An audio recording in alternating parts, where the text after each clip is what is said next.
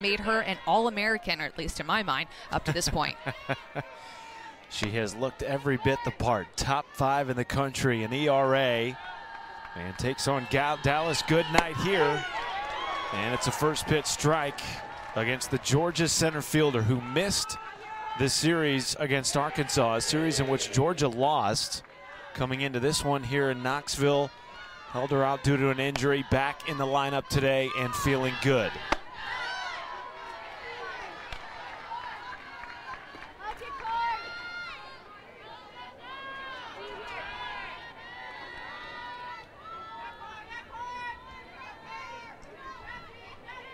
Pickens coming off her 11th complete game of the season on Friday nights.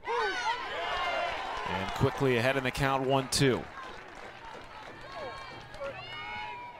It was interesting though, Tony Baldwin, Georgia's head coach, told us he felt like his team hit Pickens better than Tennessee's other pitcher they faced yesterday, Payton Gottshall. But it's a strikeout of the first batter of the game for Karlyn Pickens picking up right where she left off on Friday night against the Georgia lineup that has struggled at times in SEC play, Amanda, to have timely hitting. They got it yesterday on a solo home run by Sarah Gordon, and that ultimately propelled the Dogs to a 3-2 victory. Well, this is a Georgia lineup that is very potent. One of the best home run hitting teams, not only in the SEC, but in the country. And they're senior led by players like Sarah Mosley, the seniors that have a ton of experience, have hit hundreds of home runs, driven in hundreds of RBI on their in their lineup.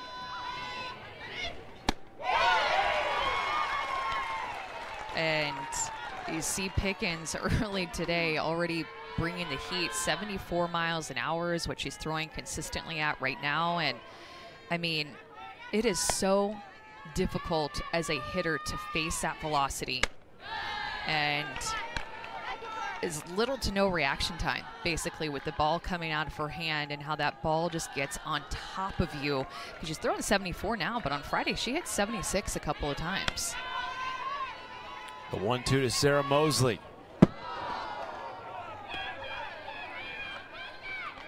that'll get you thinking a little bit if you're in the batter's box. Keep you on your toes yes. a little bit. Just wanted to see if you're guessing. Maybe I can get you to swing at that one over your head, maybe. Look at Tennessee head coach Karen Weekly, who led this program to a regular season championship and tournament championship for the first time in program history. Karlyn Pickens, obviously a big part of that, Amanda, but what she's been able to do this year in the absence of Shelby Rogers, who obviously graduated after last season, has been spectacular for Karen Weekly's club.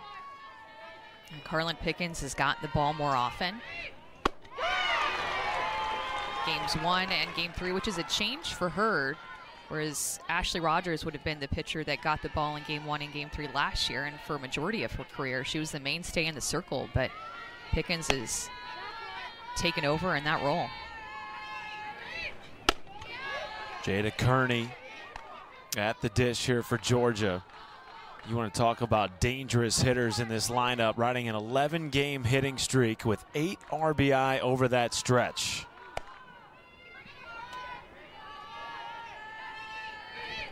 And Jayda Kearney had a hit against Pickens on Friday night. Actually, is the one of the only hitters for Georgia to have a hit in both games. Emily Digby, the other fresh or the freshman that hits in this lineup, has had a great series. About three straight strikeouts to start the afternoon for Karlyn Pickens, dialing it up. Miles an hour, she'll mix in that changeup. And that drop ball on both sides of the plate is going to be really her go-to. You're not going to see her work up in the zone a lot, stay at the knees, force a lot of ground ball outs, and occasionally mix in a strikeout. Really changed the game for Georgia when she came in in relief yesterday. Taking on McKenna Gibson here at the top of the Tennessee lineup. Batting in the leadoff spot for the injured Kiki Milloy. And if you're new to the series this weekend, Milloy has not played yet in this series, still wearing a boot. recovering from an injury she suffered late in the week in practice, but they do expect to have her back soon. And there is Milloy watching on without a uniform. Had played in 210 consecutive games for Tennessee until this weekend. Her presence in center field and her presence as a leadoff hitter for this program is special. Super athletic. She is very missed when she's not in the lineup for this weekend. And it was a surprise on Friday to see the lineup and not see her penciled into that leadoff spot not out in center field. And also a surprise, actually, to see McKenna Gibson as the leadoff hitter today. Good job drawing that walk.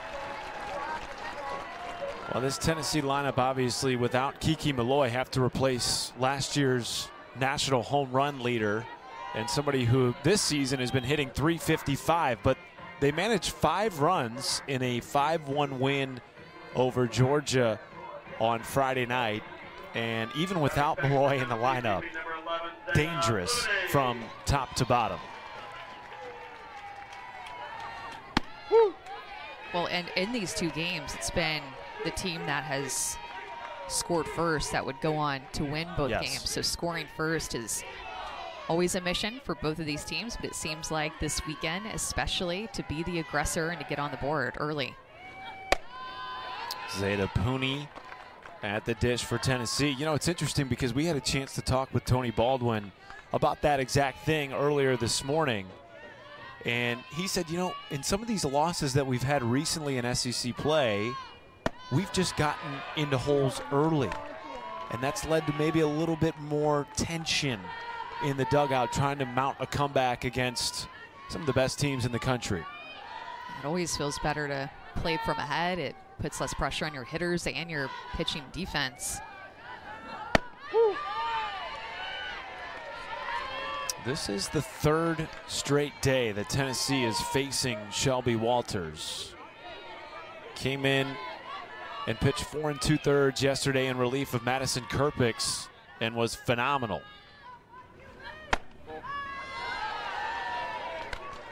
can tell both of these pitchers trying to figure out the edges of the strike zone here early.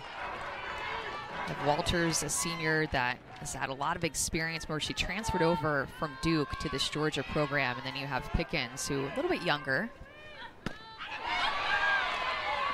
And gets a strikeout of Puni, one down. It's a pitch down in the zone that Walters can be so effective with, especially getting a swing and miss and a chase out of the zone. That drop ball just looked like it had really tight spin. Even looked like it was supposed to be more on the outside corner, but instead of curving, it just dropped down. And Puni swings and misses for the first out. We saw Lilly Backes start game one for Georgia, and then Walters came in in relief, pitched two and two thirds. We saw Madison Kerpics start game two for Georgia, and obviously, as we just mentioned, Walters coming in relief for four and two thirds as West fouls off the first pitch, but she makes her first start of the series today. Amanda, does that change anything at all from an approach standpoint if you're Walters? I don't think it does because Georgia relies so heavily on their pitching staff. She doesn't start this game thinking, I have to go out and, and, throw a seven inning perfect game. I can't give, give up any runs. She goes out and is just taking this inning by inning, out by out, knowing that Georgia likes to use all three of the pitchers that they rely on with Lilly Backes and Madison Kerpics. And in a game three, you're just focusing pitch by pitch and not feeling like you're going to have to be out there all seven innings. If you are, more power to you. That's even better, right? You want to be out there all seven innings, but just trying to go batter by batter here.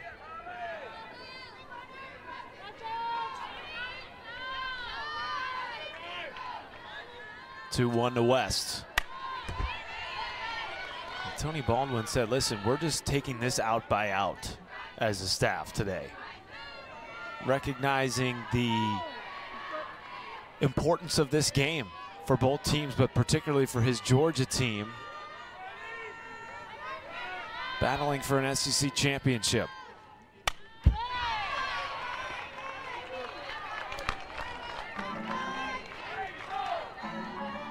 Shelby Walters is mixing in that changeup all throughout, but the difference but so far up to this point in that changeup is Today it's staying a little bit more flat. In yesterday's relief outing, she had some really good down and out movement to that pitch, got some chases.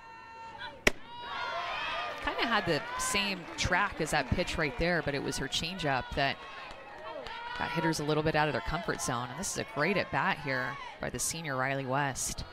Seeing a lot of pitches. Having a career year at the plate is West, batting 342 for the Lady Vols. Rips it off the glove of Walters, and everybody is safe as Gibson moves up to second base.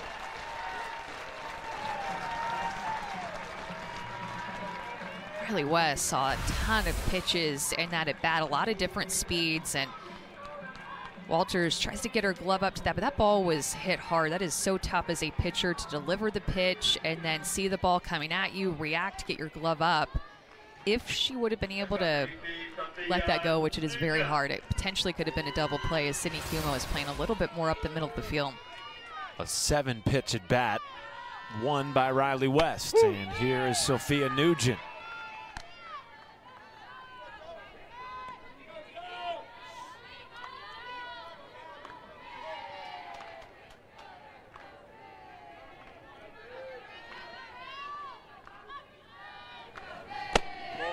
A different lineup for Coach Weekly in Tennessee today. Things kind of got mixed up with Kiki Milloy out. You know that somebody's going to have to take that leadoff spot up.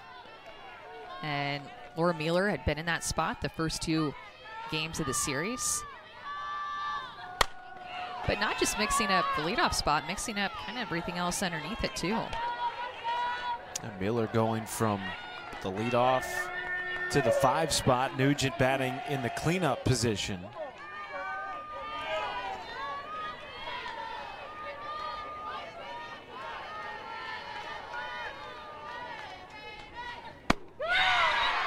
Two gone in the first with the second strikeout of the day for Shelby Walters. Just felt like with the at-bats that Tennessee has put together in this inning that Shelby Walters needed a swing and miss, that she needed this strikeout. Bearing down with a runner in scoring position, goes with her curveball. That pitch was perfectly placed to get Nugent for the second out. And here is Laura Mealer with two on and two out.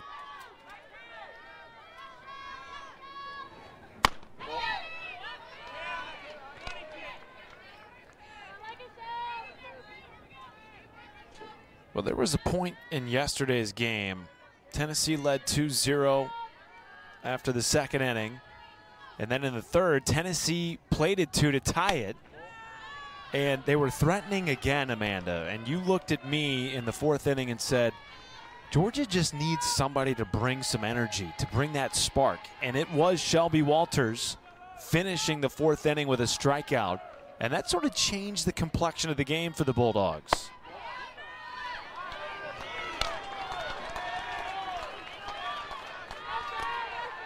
Yeah, it's her leadership in the circle that really changed the momentum and seemingly the trajectory of the game. She just took over the game, only giving up one hit her relief outing yesterday.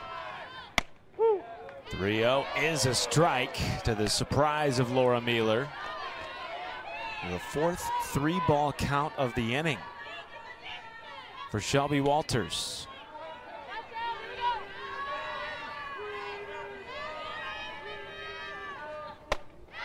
And a walk to load the bases for Destiny Rodriguez. Shelby Walters throwing a ton of pitches in this first inning. 27 pitches, and we're not through the bottom of the first inning just yet. Great at bats put together by Tennessee, and as you mentioned, they've seen her twice already this series. This is the third time. And as you and I talked about yesterday, one of the differences that you've seen from this Tennessee team from February to March and now April is their patience at the plate. We're seeing that in this inning here. Swinging at fewer first pitches of the bat, swinging at fewer first strikes that they've seen. Just working the counts more. Base is loaded for Destiny Rodriguez.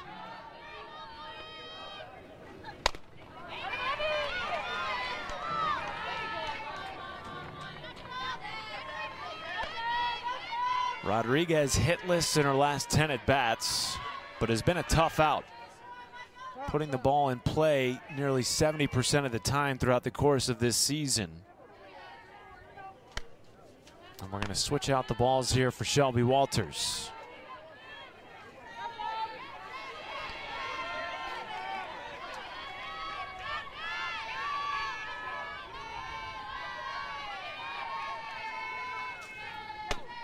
And you'll notice too that Tennessee has a ton of right-handed hitters in their lineup. Everybody is a right-handed hitter except for Alannah Leach, and kind of feeds into Shelby Walters with how she's pitched this season. Right-handed hitters are hitting about 120 points lower off of Shelby Walters.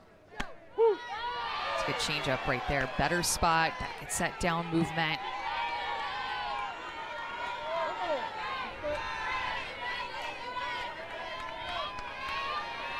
Rodriguez this year one for three with the bases loaded. Down in the count, one, two.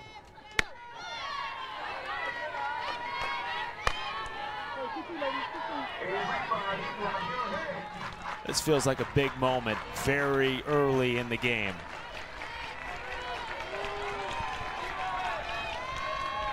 Two-two from Walters. And as you mentioned, the recipe for success in this series has been scoring first. Tennessee plated two runs in the first inning.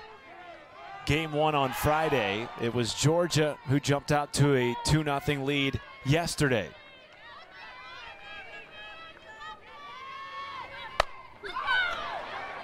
Pop up to short, and Armistead puts it away. Anticipated women's national championship game ever with what Caitlin Clark and the Hawkeyes have been able to do, and of course Dawn Staley and the Gamecocks 36 and 0.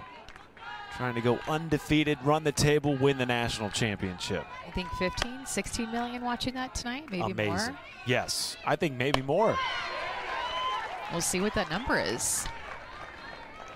The game has exploded, as has softball in the SEC and nationally. And this one of the most highly anticipated series of the year across college softball. And it hasn't disappointed. Karlyn Pickens back in the circle for Tennessee. Struck out the first three Georgia batters.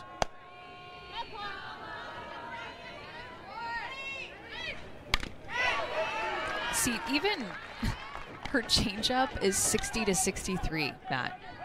That is the average fastball speed for quite a few Division One pitchers, quite a few pitchers who are playing collegiately at all divisions. But that's how hard she throws with her velocity. And then she gets you to chase at a drop ball like that that just falls off the table. But when you look at why she has excelled this year and grown from last year to this year, her fastball has improved. Last year, her fastball, the batting average against it was 236. This year, 147. And then with her rise ball, which she's throwing more this year, more up in the zone, also has improved by 50 points. So when you take those two things into consideration, her fastball command, especially, for being able to spot it on both sides of the plate, right at the knees, that fastball sets up everything else. 1 0 count to Sydney Chamblee. Karen Weekly told us last year when Karlyn Pickens won SEC Freshman of the Year, she showed flashes of this type of brilliance. But the difference this year, along with everything you just mentioned, Amanda, is the consistency that we've seen from her in the circle. Well, and what they did in the fall, too, was knowing that Karlyn Pickens has always liked to rely on her fastball, they took it away a little bit in the fall, not let her throw that fastball as much to, be, be able to develop her drop ball, her rise ball, and her changeup more. And she told me it's, you know, it's a little bit uncomfortable at first, but it's made her better. First contact in play today by Georgia, and it results in a ground out. And so the first five batters set down by Karlyn Pickens. Two outs and the base is empty now for Sid Kuma. And I think the best part when you hear Karen Weekly talk about Karlyn Pickens is that she says she might be one of the most growth minded, willing, coachable athletes I've ever been around. And her growth from last year to this year, even from when she was in high school to her freshman year in college, has been tremendous. We even heard Coach Baldwin before the game talking about it. He saw Karlyn Pickens pitch in travel ball and knew that there was so much potential in there, but maybe showed some lack of command and wildness at times. And now, when you spot 75, 76 right at the knees on both, both corners, is a game changer for her command and for her defense to stay as engaged as possible and for her to just dominate up to for her to dominate this year up to this point. Six earned runs allowed in the last 78 innings pitched for Karlyn Pickens. And four of those runs came in a game against Auburn last weekend. I mean, look at the improvement in her ERA, down over two points. Her walks are down, which has been, in my opinion, one of the biggest things, that the changes that she's made is just finding that command to be able to attack hitters with her best stuff. Gets a strikeout on the off speed, sets down Kuma with her fifth strikeout of the game. Yeah, I, I loved that game against Arkansas and getting to hear him pull his hitters aside down the third base line and talk hitting and approach and some little team huddles. I always appreciate just the insight to being able to hear how each of these coaches talk to their teams differently, and they each have their area of expert, expertise too. Like Coach Baldwin is more of an offensive minded coach. He's their hitting coach, so you get to hear him talk about hitting. Beth Torina, more of a pitching coach, so you get to hear her talk about pitching. See what Tim Walton. Fly ball to Kearney and right puts it away. Here's how Tony Baldwin sounded with a mic on his chest. Genuine reaction. So much energy. Oh, yeah. Julia Kutsoyanopoulos to short and a sling from the sidearm position by Ellie Armistead, two gone. You know, that's something that this Georgia team has improved a lot on is their defense over the years. Got JT D'Amico to come over from Washington and get on their staff. This is more of a throw on the run, sidearm throw, quick release by Ellie Armistead, a senior, a mainstay at shortstop since she's played on this Georgia team. But overall, their fielding percentage has increased since JT D'Amico has taken over on their staff. One of the best in the biz at teaching defense. And last year, Armistead was sensational at short. Started all 57 games and made just eight errors. Yeah, that's him right there. Won a national championship with Washington.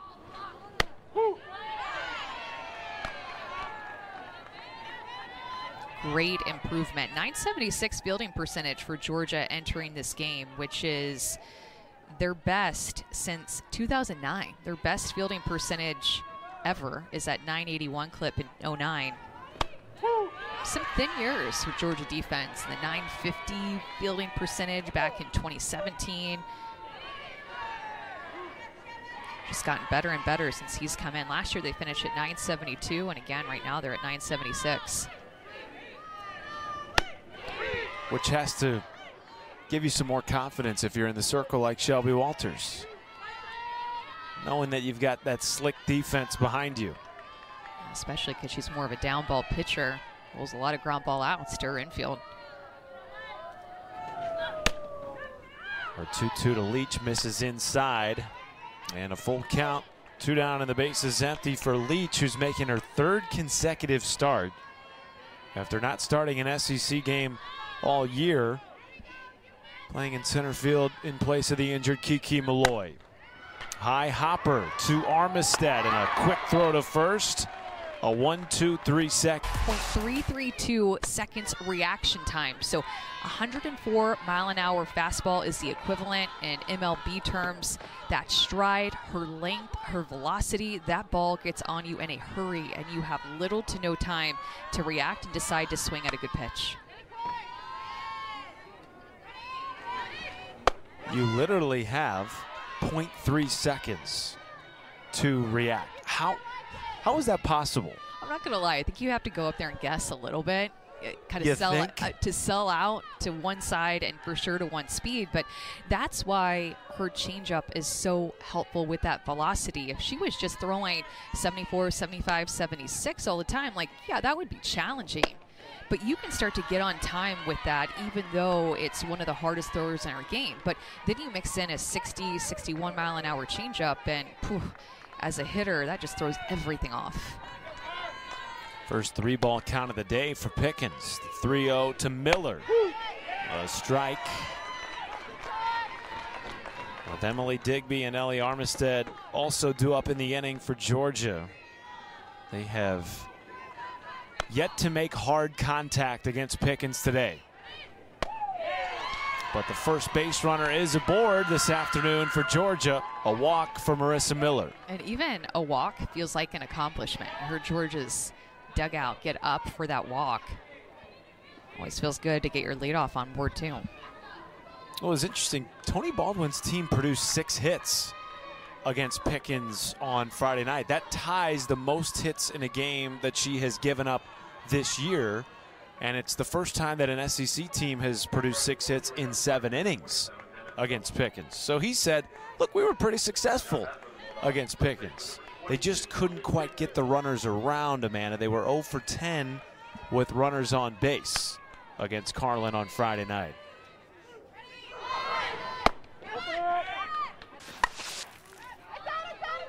Which played it too. Which played it, too. And Hot, the freshman, and a senior led Georgia team, but the lone starting freshman has been showing up against this Tennessee team. And came into the series one for her last 12 at the plates.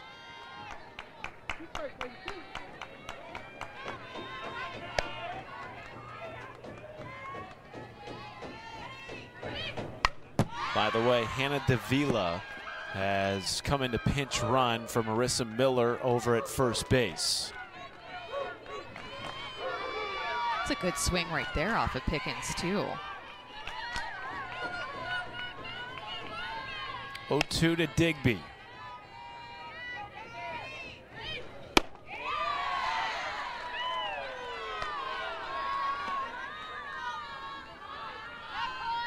Batting average against Pickens this year it- with two strikes is 098.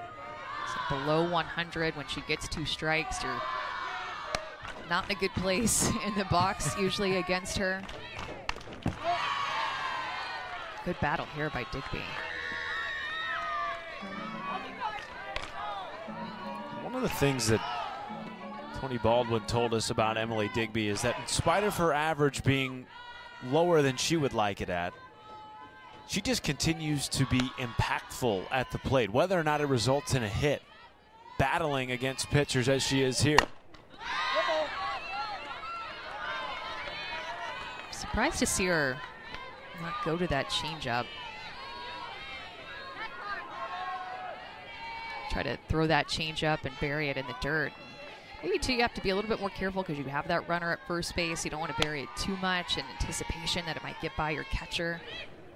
One, two into left field and down for a base hit. Davila heading to third.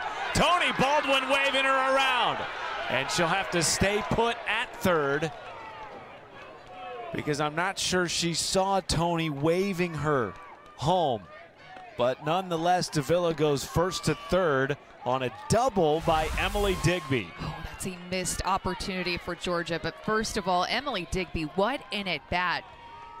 Fouled off several pitches, and Pickens did go to that changeup, but it just wasn't low enough. Digby is actually on time with it. Just drives that to the left center field gap, but Davila did not pick up Coach Baldwin, and even Rylie West stumbled a little bit. The extra bases for Digby, and again, a missed opportunity for Georgia as by the time that Rylie West was stumbling out there on the warning track, Davila was already at third base, but decided to go too late. So that puts two runners in scoring position. And nobody out for Ellie Armistead. Batting in the nine spot today for Georgia.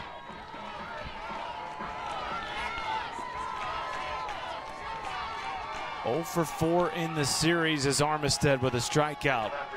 But a massive opportunity here for Georgia and really the first of the day to do some damage against Karlyn Pickens.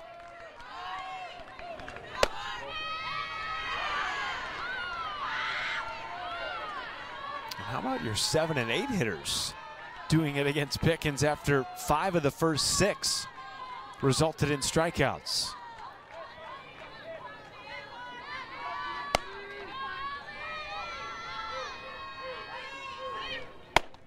Amanda, you talked about it at the top of the show, but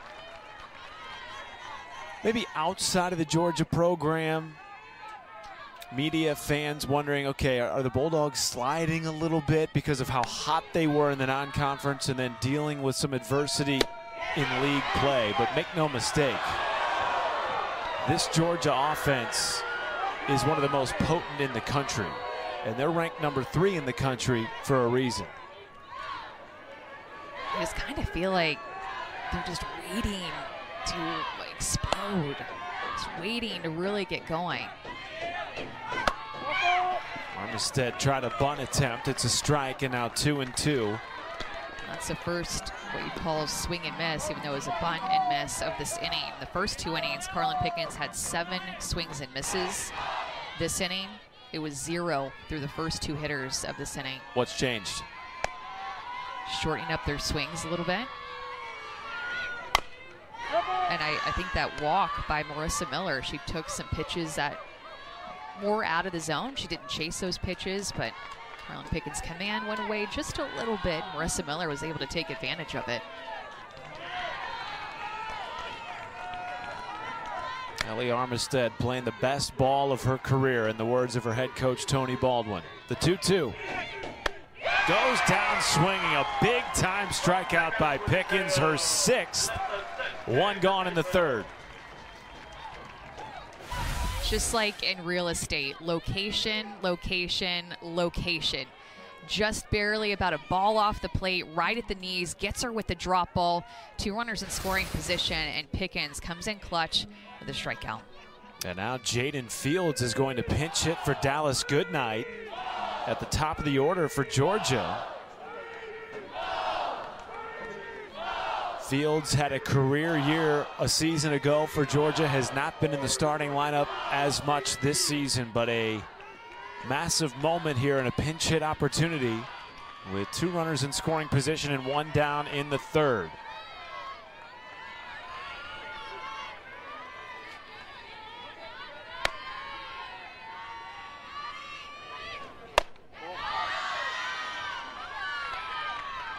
Dallis Goodnight had two strikeouts against Pickens on Friday night and started the game with a strikeout. So Tony Baldwin wanted to give somebody an opportunity off the bench to come in and see Pickens here.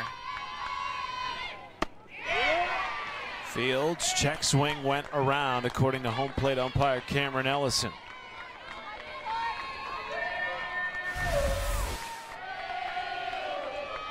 That's a great call.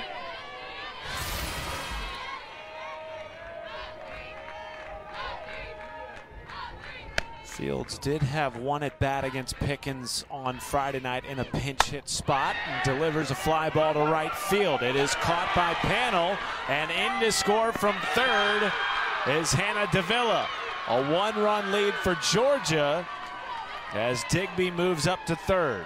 Jaden Fields made that look way easier than what it actually is. To get underneath a Pickens pitch down in the zone, that pitch is also inside and her job in that at bat, another reason why she was put in this spot is to hit the ball to the outfield. Sacrifice fly for Jaden Fields to get Georgia on the board first. Two down for Sarah Mosley. And again, these teams splitting the first two games of the series. The winner in each of those games scored first. It was Tennessee on night one and Georgia yesterday afternoon. That's why those walks are so critical at any point of the year. Mosley to second, fielded by Rodriguez, and that ends the inning. But the Bulldogs strike first, Sunday night countdown. Bottom of the third at Sherri Parker Lee Stadium. And Tennessee trailing Georgia by one with Shelby Walters back in the circle. And now the second time through the lineup for the Lady Vols.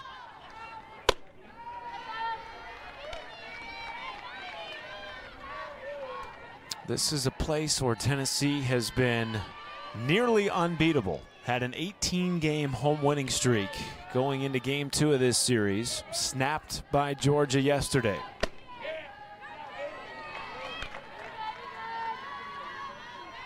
Always great crowds. And today, no different. Good energy in the building for this rubber match in a top five showdown between Tennessee and Georgia.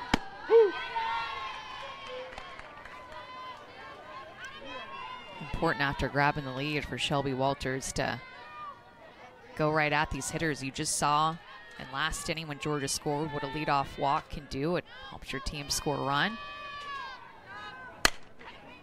Gibson to short.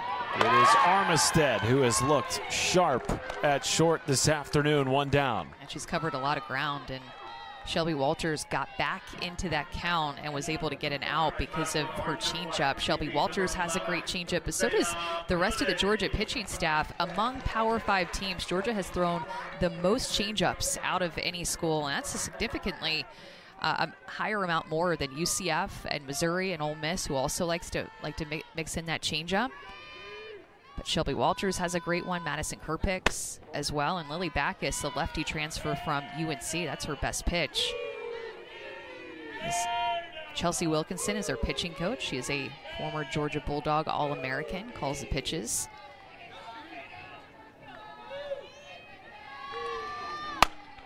Zaida Puni tails foul just right of the line. That could have been extra base hit trouble but instead will walk back to home plate.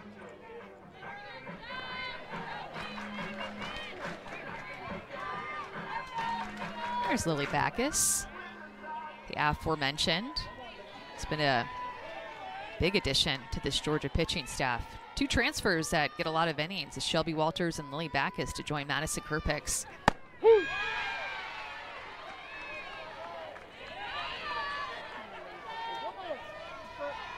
Uh, we saw Lilly Backes in game one, three and a third innings pitched. Gave up two earned, four walks, four strikeouts before giving way to Shelby Walters.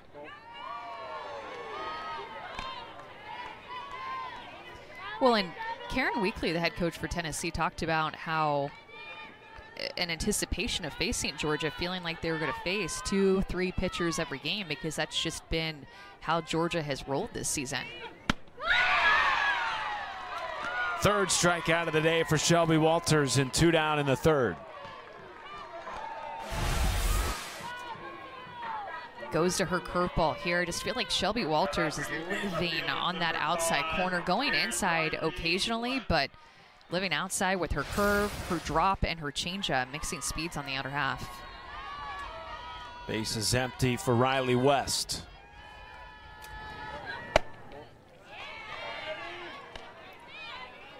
West, the only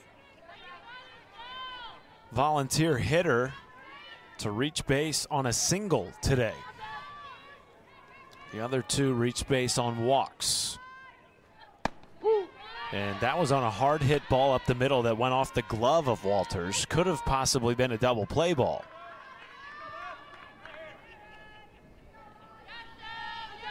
Back in the first, Walters had bases loaded, two outs, got out of the jam and has looked clean since.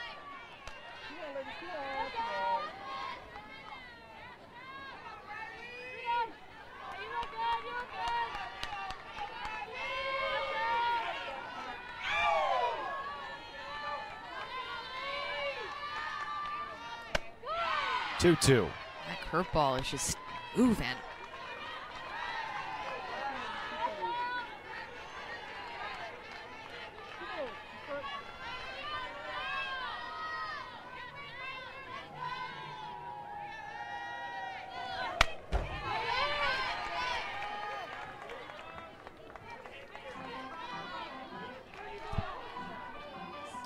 Chelsea Wilkinson right next to Amber Freeman, who is also on staff right next to her. Played at Arizona State. Big addition for the Georgia coaching staff to bring her in. Of course, now you can have three assistants and your head coach, so the addition of the extra assistant has made a, a difference. West just laying off that and a full count. So Wilkinson with the hat on the right, Amber Freeman on the left. Karen Weekly compared Karlyn Pickens to Chelsea Wilkinson coming into the weekend. Just their competitiveness in the circle as West fouls it off down the right field line. Well, and I think too that Chelsea Wilkinson had a great rise ball and took a little bit of speed off of it when she threw that rise ball. That rise ball being her best pitch, her bread and butter. And Karlyn Pickens has worked on that rise yeah. ball, and when she throws it, takes a little bit off of it too. All American at her time at Georgia. Payoff from Walters.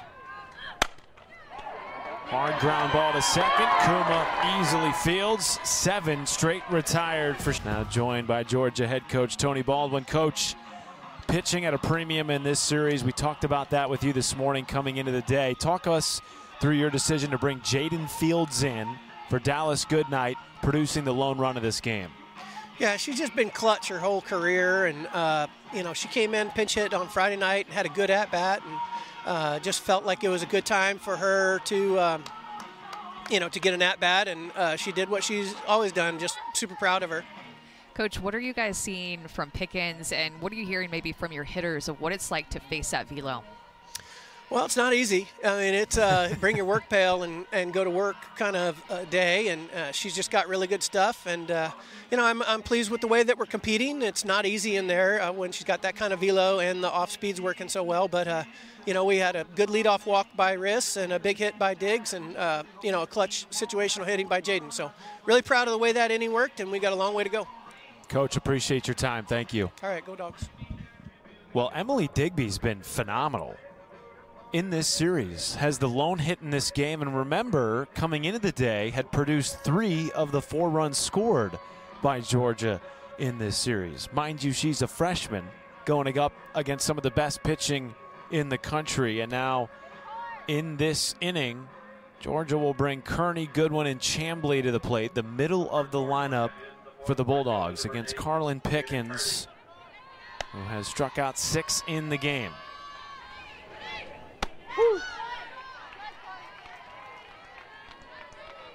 Jayda Kearney, of course, always a threat when she comes up to the plate to hit the ball out of the ballpark.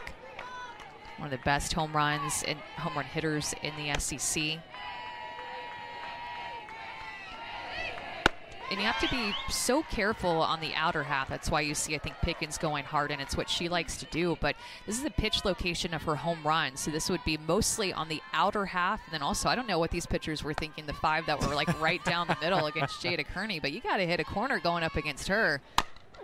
You can't leave the ball out over the plate. I think that's called a mistake. I think so. It's a lot of mistakes that Kearney's getting. It's kind of shocking because all American at the plate, hits 20 home runs a season.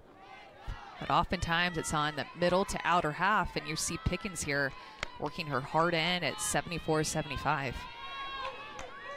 0 2. Seven strikeouts for Pickens. And just when you think she's going to go back hard in. Then she dots this one up on the outside corner, right at the knees, gets her to swing and miss through it. I don't think that would have been a called strike, but with two strikes, you have to swing at it to protect, and she's gotten her twice. And now Jaden Goodwin at the dish.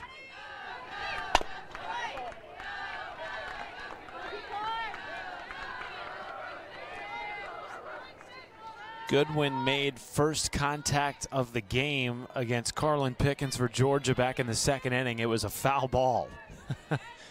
That's the type of start that Pickens has had.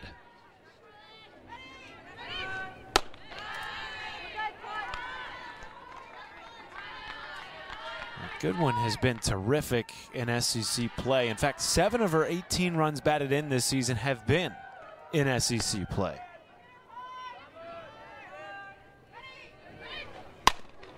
Rolls it to second base. Rodriguez to first, two away. And here is Sydney Chamblee.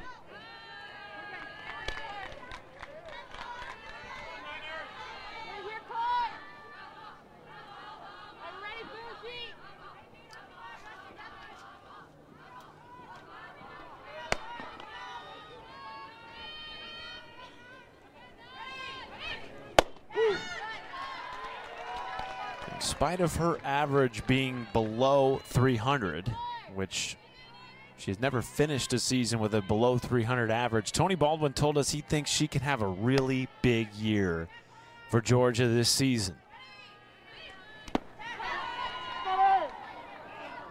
Showed spurts, including the NCAA tournament last year, the regional and the super regional for the Bulldogs.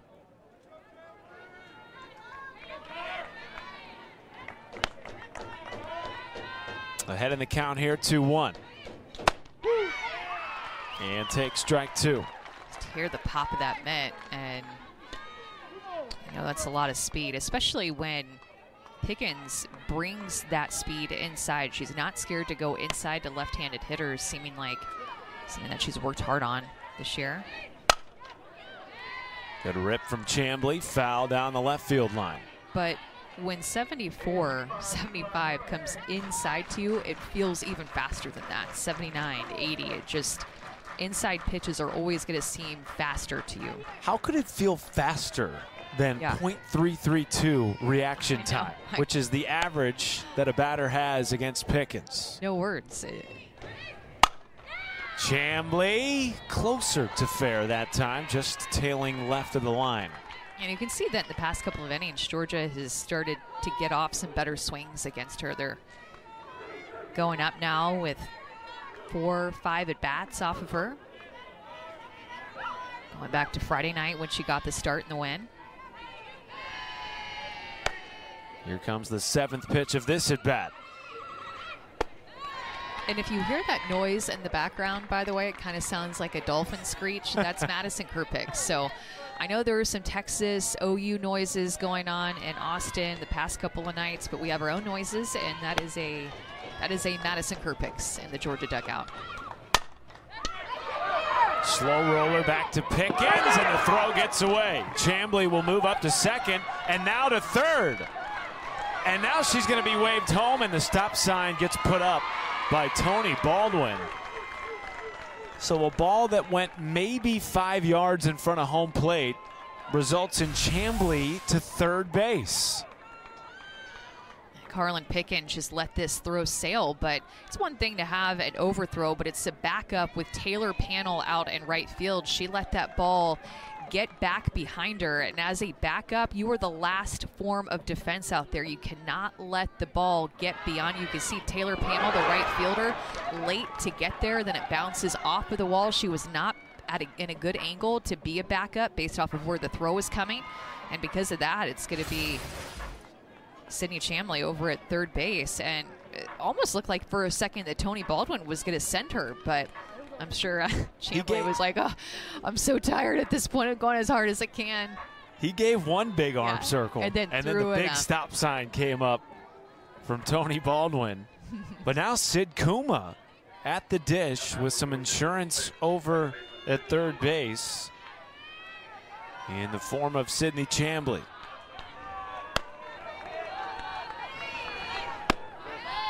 Kuma struck out her first time up, but I think what we've seen, Amanda, is a lot of first pitch strikes the first two innings from Karlyn Pickens, and then in the third and the fourth, not nearly as many, and Georgia taking advantage of that with their patience at the plate. Well, it's funny that you bring up that first pitch strike number and percentage because that's a big difference in Karlyn Pickens this year from last year to this year. Last year, her first pitch strike percentage, 47%. This year, 59%, up 12% from last year, leading to her success. And in the first two innings in which we saw a lot of first pitch strikes, she struck out five of six batters. In the next two innings, we've seen just two strikeouts, and Georgia plating their first run of the game. The 3 0 from Pickens. is a strike to Kuma.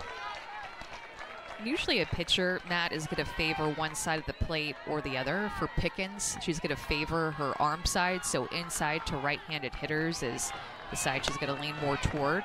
Her fastball kind of screws in. Kuma to third. Scooped up by Gibson, and that will end the inning. So Pickens pitches around an error. We will. Third time this weekend that your team is seeing Shelby Walters. What are you seeing from your hitters? And how are you making adjustments throughout the course of this game?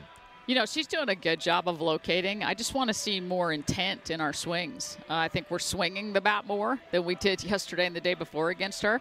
Um, not being as picky, but, you know, now we've just got to have a little bit more purpose to our swings. Coach, you've been calling pitches in the SEC for a long time. What goes into calling pitches against the same team with the same pitcher that they've already faced in game three here? A lot. a lot of film study, both before you get in the series and then during the series. And, you know, just trying to stay one step ahead of them. And it's not easy to do against a, a team like Georgia. But, you know, our pitchers have executed tremendously well. Uh, Karlyn did Friday night. Payton, I thought, threw her best game that she's thrown all year yesterday. And I think Karlyn's doing a really good job right now, too. Coach, appreciate your time. Thank you. Thank you. So Tennessee will send Sophia Nugent, Laura Mealer, Destiny Rodriguez to the plate. And we'll see if there's some more purpose in their swings. Second time through the order against Shelby Walters, who was phenomenal yesterday. Four and two thirds, no runs, five strikeouts, and has looked really good over the last two innings. Has set down seven in a row as we start the bottom of the fourth here in Knoxville. It's been impressive to me the way that Tennessee's numbers have not fallen off from their non-conference games into SEC play. And you get into SEC play where the level of competition is so high every weekend and everybody knows each other so well and you're playing each other in three game series like this and it's, you know, it's usual for the ERA to go up a little bit, the batting average to go down, maybe score some less run or fewer runs. But I mean, Tennessee in the SEC, they lead the SEC in all these categories in mm-hmm. ERA, fielding percentage, opposing batting average, and they've hit the most home runs. They've had timely home runs in SEC play. So the defending SEC champs at the top of the standings now, and playing good ball against quality competition weekend in, weekend out, getting that clutch hit when you need it the most when it's a close game. That's why they're at the top right now.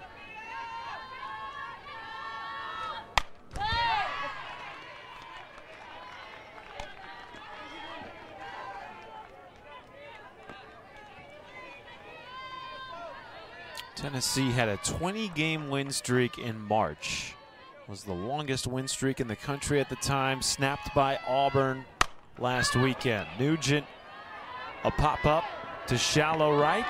Kearney makes out number one. When we asked Coach Weekly, too, has there been a win this season that you felt like was a key win for your team? And she said she felt like the Clemson win was a key for them because they've had a lot of rainouts. They've had six canceled games, but to have that be a road game and pull out the win, I mean, she really liked the way they felt that that Clemson win was a big part of their season, but also how they've been playing game threes in SEC play. The intensity that they have been able to show in the Missouri series and then also against South Carolina – it's one thing to win those first two games, but love the intensity that she saw in game three to get sweeps in those series. 1 0 to Laura Mealer. Walked her first time up, moving from the leadoff spot yesterday to the five hole today. However, she felt like last weekend in game three against Auburn when they had their first SEC loss in game three against Maddie Penta that that that business-like approach that she talked about was maybe missing a little bit. I know that she wants to see that same game three mindset in a game three here today, trying to win the series against a top three team in Georgia.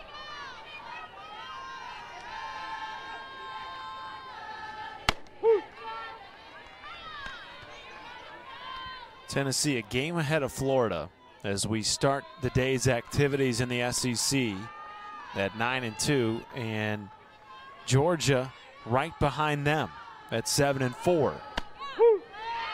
And so if Georgia's able to come away with a win here, you see Tennessee fall to 9 and 3, Georgia go to 8 and 4, and now things get really interesting in the top three to four teams in the SEC with still four regular season series to go. Texas A&M in that mix too. No doubt. Uh, upper half of the or upper four teams in the SEC. Boy, they had a battle last night against Kentucky, didn't they? Oh, just a three-hour and 10-minute game. No big deal. 10-9 game. Got the win. Won the series against Kentucky.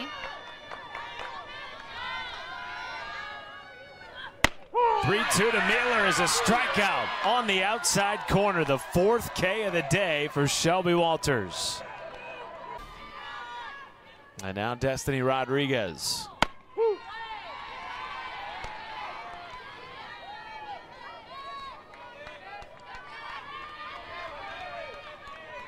Shelby Walters, what a start that she's having in this game. Particularly coming off her longest outing since February 23rd yesterday. Hard to believe, too, because she's been pitching well, but it goes back to your point, Amanda, that Georgia has regularly used two and sometimes three pitchers in a game throughout the course of the entire season. Well, that's what Coach Weekly said was one of the keys to entering this weekend is what she called offensively selling out. She said, if we stumble, that's why. If we don't sell out and you know that you know going into it that you're going to see three pitchers, you just feel like you're going to try to catch up to everything. You know that a new arm is going to come in eventually with Lilly Backes or Madison Kerpics, but what she called offensively selling out. And right now it's Shelby Walters who is controlling these at bats and not the Tennessee hitters. 23 and a third innings pitched over the last eight plus outings for Shelby Walters. Over that stretch has allowed just two earned runs. Slow roller, to Kuma, and a one, two, three inning for Shelby Walters. The third. It's either you or a producer James. I avoided stepping on those beautiful pieces of art. Part of a big weekend here in Knoxville. We saw the Knoxville Marathon. We did not partake. We watched. And a Knoxville native actually won the women's division earlier this morning. High fly ball to right field by Marissa Miller, caught by Taylor Pannell, one down.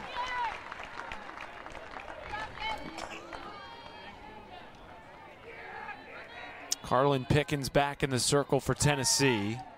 And if you're just joining us, she was unhittable, untouchable, really, over the first two innings. Struck out five of the six batters she faced. And then a walk and a double in the third gave way to a sac fly, which is the difference in this game. A 1 0 lead for Georgia in the rubber match of this top five series.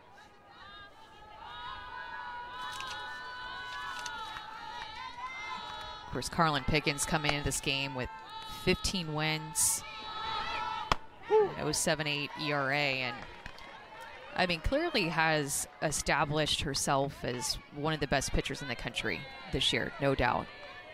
Her improvement and growth this year has just been so high level and next level for her to take a step forward as a pitcher and as a leader for this team.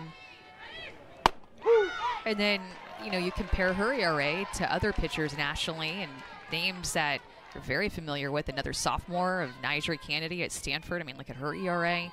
Lexi Kilfoyle, who had a couple of shutout wins against Texas last weekend, and her ERA being six in Division One, and then Jessica Mullins at Texas State. A few of the pitchers that have the best ERAs in the country, and led their teams this season. Just nasty stuff. I mean, Jessica Mullins at Texas State oftentimes gets overlooked because she's not playing at a Power Five school, but Texas State is having a really good year. I believe even hopped up into the top 10 in RPI. Some of the best pitchers in college softball this year is Canady, Pickens, Kilfoyle, and Jessica Mullins. And now we will see the second pitch hitter, pinch hitter of the game used by Tony Baldwin. It is Sarah Gordon in the nine spot for Ellie Armistead. Bases empty, two outs here, top five in Knoxville. And remember, yesterday Sarah Gordon was the difference for Georgia. A home run in the fifth inning, solo shot, the only hit allowed by Payton Gottshall. And it resulted in a 3 2 win for Georgia. She transferred that ended up winning the game for Georgia. Came into the day hitting 175 on the year, Sarah Gordon, and produces what ended up being the game winning run against what has been arguably the top pitching staff in the SEC to start the year. Yeah, and even Coach Weekly said that she felt like Payton Gottshall had thrown her best game of the season yes. yesterday, and it was Sarah Gordon that had the one hit, the one blemish to her outing. There she is right there, number 33, Payton Gottshall.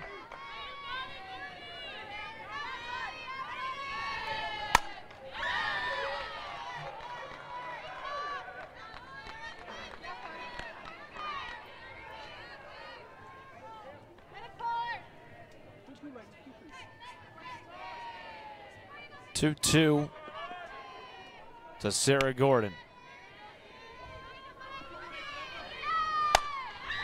Flair in the center field. Back on it is Leach, and a one-two-three inning for Karlyn Pickens. To end the game, Tennessee was not able to take advantage of the leadoff walk, and when Georgia had a leadoff walk offensively, came around to score.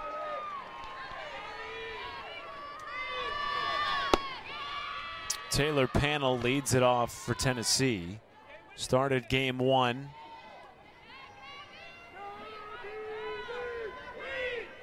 I beg your pardon. This is Alannah Leach for Tennessee. Backhanded it short by Armistead. And that was the other Leach. That's my bad. Gabby Leach to short. Pinch hitting for Pannell. And one down here in the fifth. Another left-handed hitter getting an opportunity against Walter. She hit that ball hard, too coming up. And that's one thing that we talked to Karen Weekly about. Not a left, lot of left-handed hitters in their lineup at all. In fact, with Kiki Milloy out, it brings Alannah Leach in. She is the lone lefty in the starting lineup. So we'll have another pinch hitter here too. Just Karen Weekly trying to get something going offensively off of Walters with some depth off the. Off the bench. And now Cameron Sarvis pinch hitting for Giulia Koutsoyanopulos.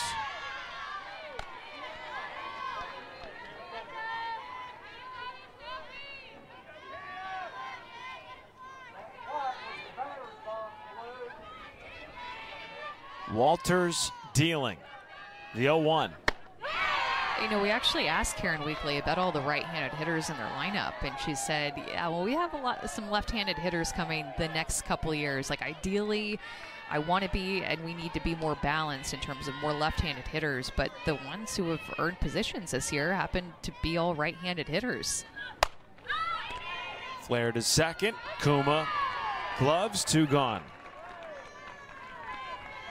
And that is 12 straight retired for Shelby Walters.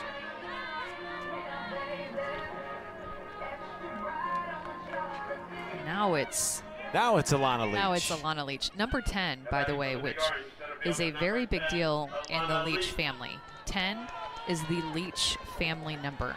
Aubrey Leach wore 10, who played here, All-American here. Kelsey Leach, their sister, wore 10. And then Alannah getting to wear number 10, and that's only because her sister Gabby got to wear 10 in high school. So now Gabby is 55, Alannah is 10, but what does 5 plus 5 equal? Hmm. It equals 10. I thought you were going to give me a chance to answer that. I didn't know. That brain buster. You, you weren't going to have enough time to pull out your calculator. so.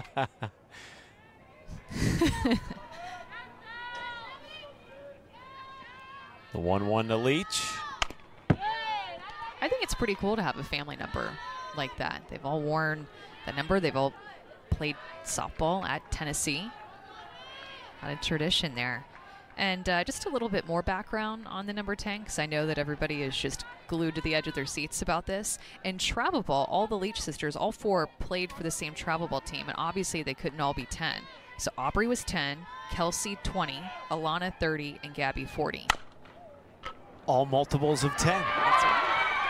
A flip to first, and the, these two teams voted one and two in the preseason SEC poll.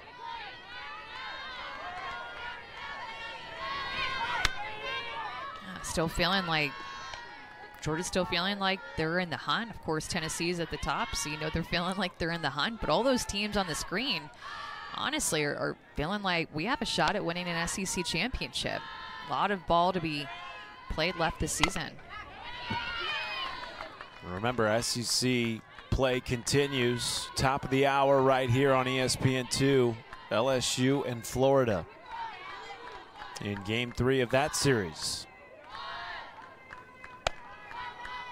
Beg your pardon, that is game two of the LSU Florida series. They'll be on Mic'd Up Monday tomorrow night for game three. Good night. Foul. So a one and two count. Top of the order. Third time through the little order for Georgia. And still Karlyn Pickens in the circle. Eight strikeouts this afternoon for the Tennessee ace. Goodnight to short on a two-hopper. Quick throw is not in time. Goodnight beats the throw from Laura Mealer. And just the second hit of the day for Georgia. I remember they had six the first time they faced her on Friday night, but this is all it takes for Goodnight with her speed to get down the line. A couple of hops is exactly what she wants as a slapper for that ball to hit the ground twice because it means it gives her more time to get down the line safely.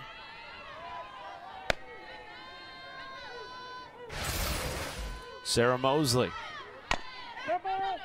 Foul on the bunt attempt.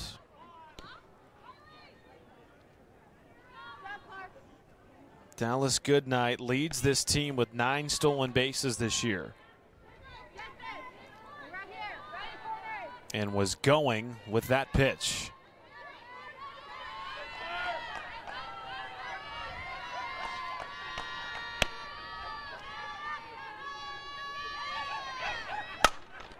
Oh, rocket off the glove of Koutsoyanopulos, and both runners are safe. That's the hardest hit ball of the day that we have seen off Karlyn Pickens. They're going to make sure that Giulia Koutsoyanopulos is okay. Playing a little bit in because Mosley had just shown fun ERAs in the SEC. And she looked so good yesterday, Matt. Six innings, seven strikeouts, didn't walk anybody, and she's going to bring a curveball on both sides of the plate and more upspin with her rise ball. So she'll throw that curveball backdoor inside to righties and also outside to them and then she wants you to chase that rise ball like Jayda Kearney just took right there. It's something that Coach Baldwin said yesterday they saw from Gottshall is that she was tunneling her curveball and her rise ball so well. The hitters were having trouble deciphering was it going to curve or was it going to go more up in the zone? Pickens, five innings, eight strikeouts, three hits, and a walk. The runners aboard are hers. So the earned runs and runs allowed Still to be determined by Karlyn Pickens. Here we go.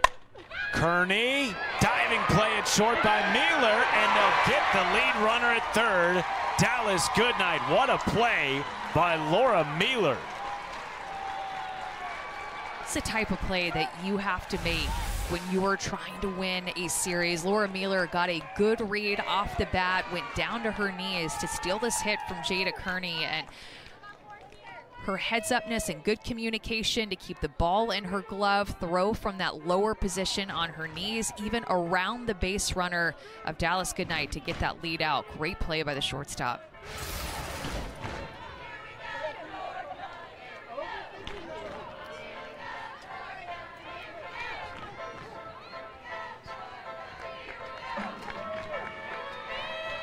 She doesn't stop that ball with Dallis Goodnight's speed. This is a 2 0 game for Georgia.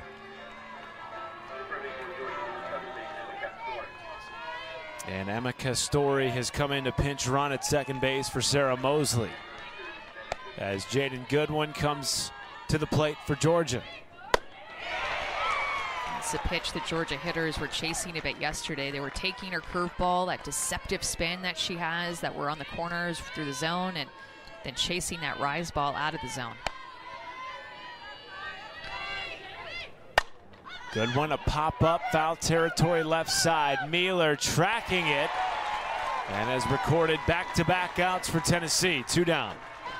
You trust Payton Gottshall so much in these moments to come in with runners on base and nobody out. We saw her do it in yesterday's game too, come in with traffic and just go right at the hitters and get quick outs.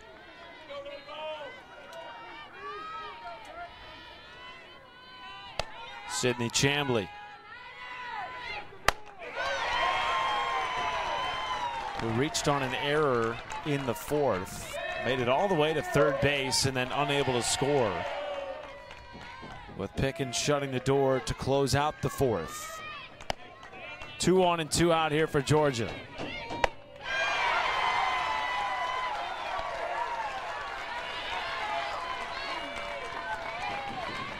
Dogs in this game 0 for 5 with runners in scoring position.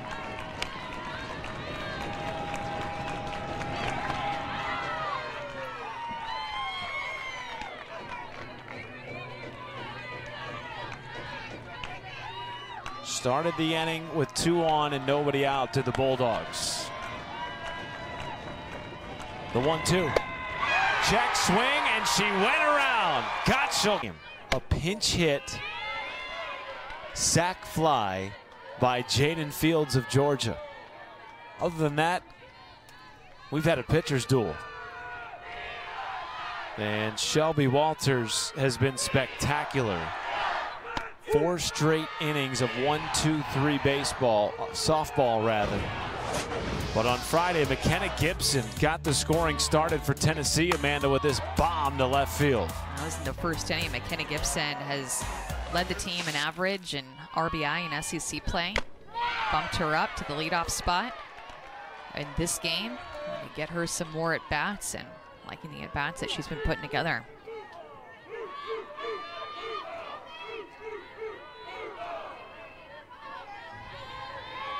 Batting in the leadoff spot for the injured Kiki Milloy.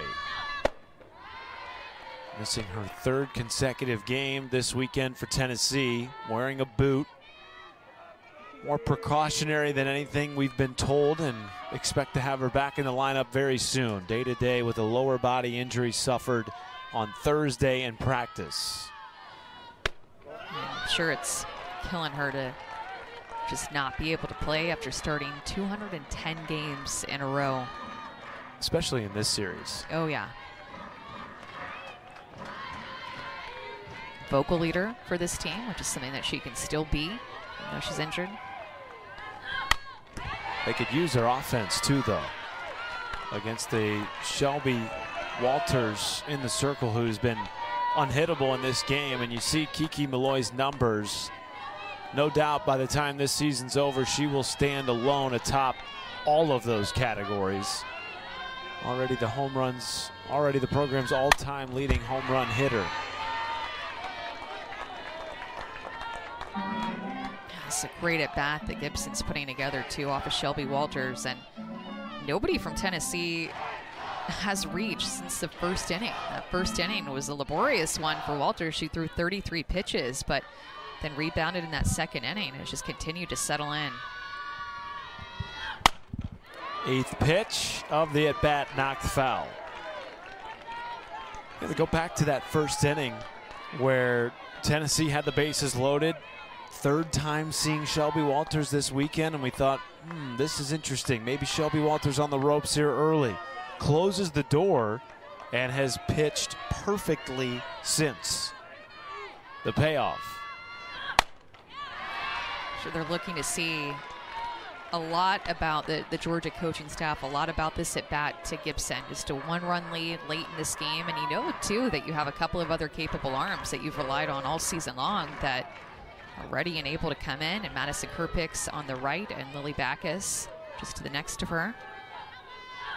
And the 10th pitch misses upstairs. Your first base runner for Tennessee since the first inning. And it's McKenna Gibson with her second walk of the day.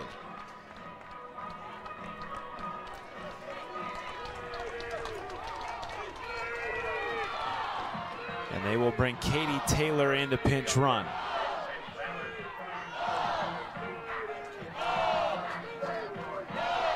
Just doesn't get easy with the top of this Tennessee lineup with Zaida Puni coming up, a hitter that Karen Weekly said last year. I, I think that she could be the most fearsome hitter in the country. A couple of strikeouts today, but a hitter like Zaida Puni does not stay quiet for long.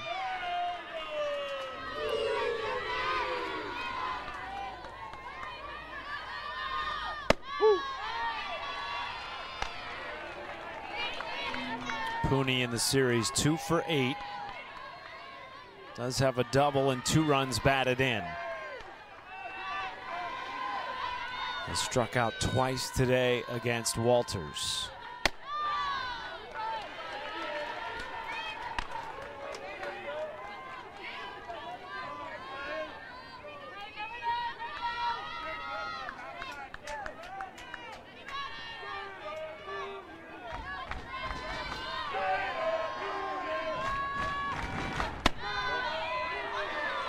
See Walters just all game long, Matt, has continued to work that outside corner. Different speeds, different heights. She's gotten really, I think, comfortable working that side of the plate, too, because of all the right-handed hitters that she's facing in Tennessee's lineup. She can just pretty much get on a roll and in a rhythm with that side of the plate. Puni the left, line right into the mid of Jada Goodwin, one down. Special gets it all started at 2 Eastern. And that championship game viewable on ABC. High fly ball to right field at the wall, and it's off the glove of Jayda Kearney. Rylie West will slide into second base as she was sort of caught between first and second, wondering whether she should go back to the bag as Katie Taylor advances to third. Jayda Kearney had such a good beat on that ball. That ball off of Rylie West's bat just carried to right field. Walters goes back to that outside corner. West is looking for it, lets that pitch get deep. And Jayda Kearney up against the wall. That ball was in and out of her glove. She had it. She was right underneath it, even though it was a hard play, right up against the wall. You see her find the wall, or at least it looked like her glove was there. Hard to tell if it just hit off the very top, almost a home run for West. But where Georgia got into a little bit of trouble is that they did not cut this ball coming in from the outfield. That ball went all the way to Sarah Mosley, basically at third base. And with that being said, Rylie West was able to move into scoring position. Almost ran past the base runner there of Katie Taylor. But again, letting that throw come all the way through allowed West to get into scoring position, and now the go-ahead runs at second base. Heads up base running by Katie Taylor. As soon as she saw that ball hit the ground, she was thinking first to third. Coming in the pinch run for McKenna Gibson. It is challenging whether the hit to the outfield was a home run. Previous play is under review. And so the call has been challenged by Karen Weekly. To your point, did it bounce off the top of the wall or did it go off the glove of Jayda Kearney? Yeah, we'll have to see if this actually makes it out of the, the field of play.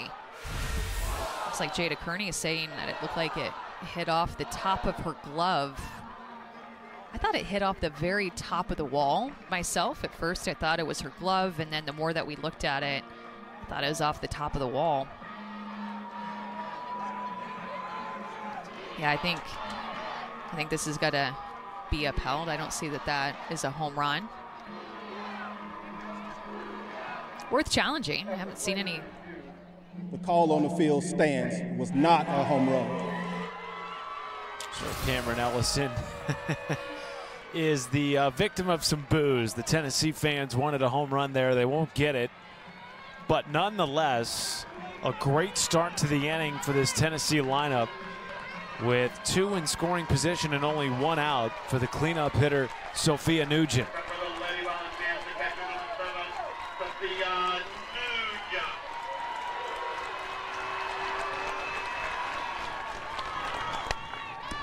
It's funny how Sophia Nugent was a player that Karen Weekly told us that she actually recruited her heavily in eighth grade. Then Sophia, of course, transferred from Oklahoma, decided that that's where she wanted to go play softball, was there for a couple of years. But when Sophia went into the portal, Karen Weekly already knew that that was somebody that they wanted because they had recruited her so hard a few years back.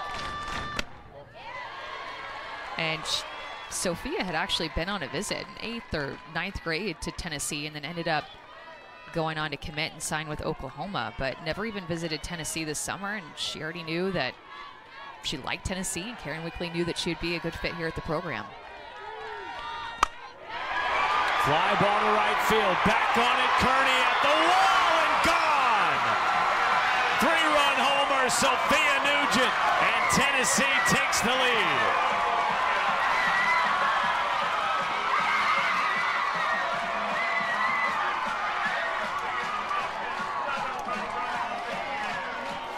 The adjustment on the outside corner has officially been made. That was even on a changeup, and Sophia Nugent is able to recognize it, still let that pitch get deep, and she stayed so in her legs and on that changeup, drove it opposite field.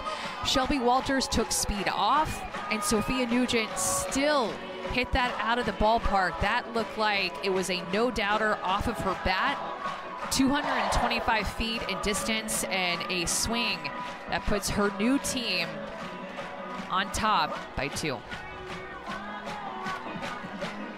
And we are going to see a pitching change for Georgia. Heck of an afternoon. The fact that she held on to the ball is incredible.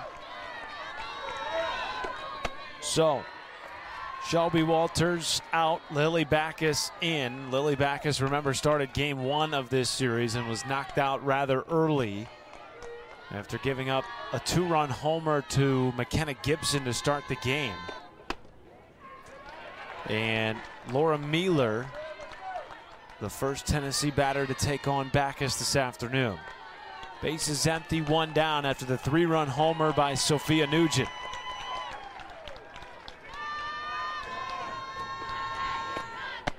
I, feel for Shelby Walters in this game because of how well she pitched in those middle innings from the second through the fifth. Got in a little bit of trouble in the first where Tennessee came away with no runs and settled in. And just tell, like, the McKenna Gibson at bat to lead off this inning with the walk, fouled off several pitches that Tennessee just had a different mindset going into this inning. Zaida Puni, that hard line drive to left field, and then Rylie West almost hit it out of here. I'm surprised, actually, in a way, in hindsight's 2020, but I'm surprised that they didn't make a pitching change earlier than what they did. But I, I think just giving Shelby Walters a lot of credit with how she's pitched today is her game to lose or win. A walk to Mealer. Well, to your point, Amanda, Walters went four straight innings without allowing a base runner for Tennessee. In fact, she faced the minimum over a four inning stretch after walking a couple and giving up an infield single in the first. This is the first time all day that we've seen her look vulnerable on a slow roller to third, Mosley to first, and Destiny Rodriguez is out as Mealer advances to second. Two down now for Taylor Pannell. Yeah, it just feels like too mad in these games that Georgia has lost recently. It's been the big home run that has helped contribute to their, some of their losses against Arkansas and then here in the Tennessee series. Remember, Gibson hit that home run in the first inning off of Lilly Backes, a multi-run home run to get on the board first. Some multi-run home runs that just tend to hurt you more. And looking at Tennessee's pitching, the two home runs that they've given up have both been solo home runs this weekend.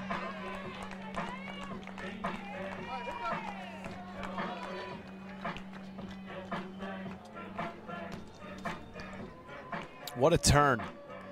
And you know, I go back to what Karen Weekly told us when we had a chance to speak with her a couple of innings ago. She said she wanted more intent and purpose at the plate. Well, McKenna Gibson gave them that with a leadoff walk to start this inning. And then patient hitting from Rylie West.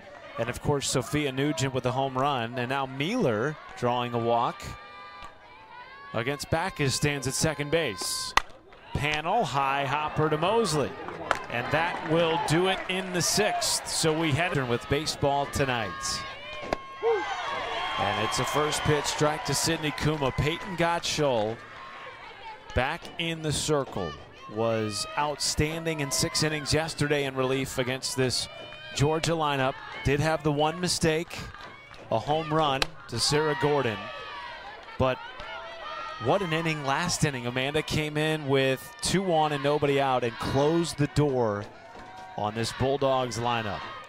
We talked about it, the momentum that she brought and the energy, the passion, and the competitiveness that she brought in the circle when she entered in that game with no outs, runners on, was the turning point for Tennessee. She means business when she is in the circle, undoubtedly. And everybody loves to play back behind her, but she definitely brought a spark to this team. And a strikeout back to back for Payton Gottshall.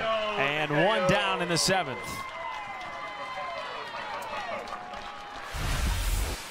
This rise ball has been money this weekend for Payton Gottshall. Not throwing it too high, being able to get a chase out of the zone. Nasty spin and movement on that pitch this weekend. Marissa Miller, who has walked and scored in this game. The lone run scored by Georgia. That was back in the third.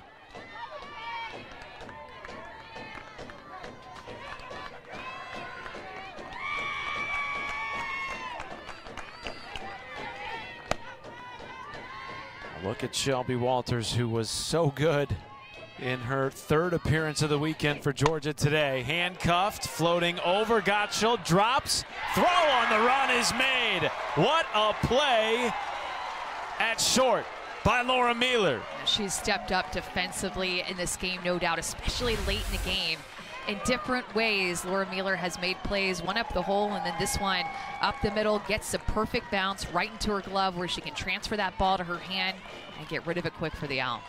Beautiful. And remember, she had that play a couple of innings ago, diving at shortstop, which saved a run, at least one.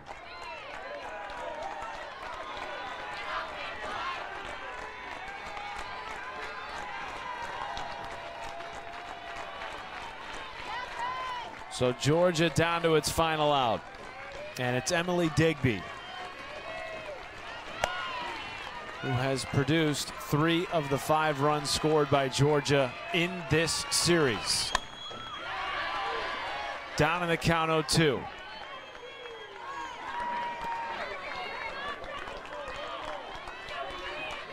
Man, did this game turn quickly. Shelby Walters went four straight innings without allowing a base runner to Tennessee. And then in the blink of an eye, the Vols put two on and a three-run homer by Sophia Nugent put Tennessee in the driver's seat going into the final inning. And here we are. Gottshall with an 0-2 count. And I'm telling you, Gottshall coming in was the absolute difference maker for Tennessee. Back against the wall, already down by one run at the time, couldn't stand to give up anymore.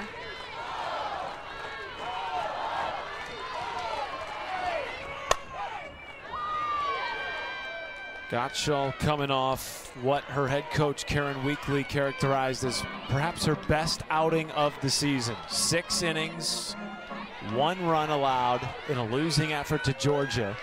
Bulldogs snapping Tennessee's 18 game home winning streak yesterday to level the series at one and one. And the rubber match today did not disappoint. And the one-two rings up Digby on the outside corner. Gottshall closes the door on.